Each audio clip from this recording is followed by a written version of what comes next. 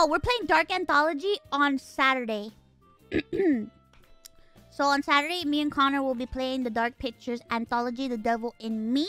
I'm excited.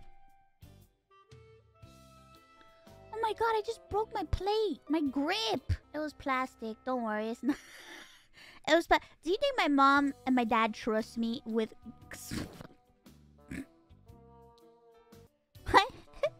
Parents don't trust me. What Latinian parent trusts their child? No one.